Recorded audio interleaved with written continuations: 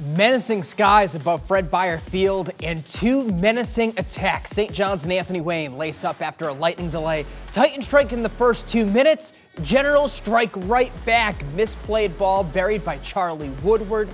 1 1, just three and a half minutes in, and they're just getting started later in the half. Tyrion Loisel finds Matthew Grothaus on the throw in. Magnificent placement on the header. Titans slide into a 2 1 lead, but the Generals have an answer two minutes later. Their turn on the throw in, and guess who?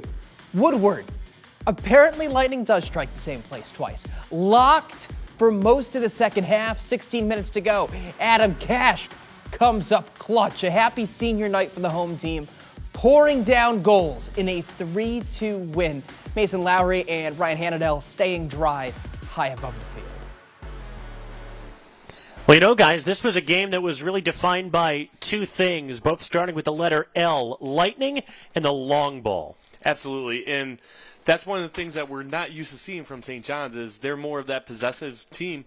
We see them like to pass the ball around a little bit before going forward, but this second half they were going long, long, long, and that's what led to quite a few goals in both first and second half. Yeah, Lightning and the long ball led to a long night for all of us, and it's one of those things. We know these two teams, Anthony Wayne in particular, are capable on scoring from long throw-ins, corners, free kicks, etc. Four of the five goals we saw tonight were decided in exactly that way.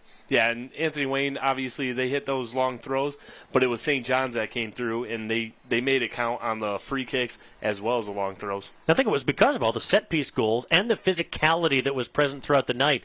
This really felt like a tournament preview, and not just because this is a matchup we might see again a month from now. Yeah, you know the the state's kind of shaking up the the divisions here, but Anthony Wayne, St. John, St. Francis, these are all teams that are in Division Two now, and they might see each other. You know, all three teams have played each other now throughout the season, and we've seen a lot of the same results going one way or another between St. Francis, St. John's, St. John's, Anthony Wayne, and really, there's not much left to sell, and we would have to wait till the tournament to see what's going to shake out. Yeah, you have to think those will be the top three teams in the district. I'm wondering with the uh, tournament draw coming up less than two weeks from tonight, as, as we sit here right now, if this result might change anything, any line of thinking for any coaches that are in the room on that day. Yeah, that's a tough call to say. You know, it, a lot goes into that. Whether it's going to be, hey, where are we going to play? Are we going to be on grass? Are we going to be on turf?